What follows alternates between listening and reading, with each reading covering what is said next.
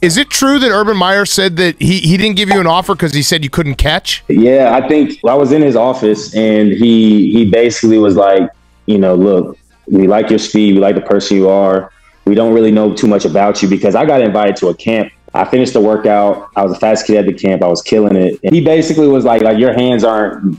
He really said your hands aren't good enough uh, right now to be able to feel comfortable enough sending you an offer. But this is what I tell you: if you go home, catch 200 footballs a day, come back in two weeks, you'll work out in front of me as soon as you get here, and we could go from there. Like there's a chance you could have an offer. When I came back, I was like, it, it, took probably like five routes, and Coach Meyer was like, "Yo, you're done. Like, you got an offer." I had a decision to make as a young man. Like, I'm 17, 18 years old at the time. It was like kind of like setting the foundation of what my career, what my character, what my legacy was going to be there.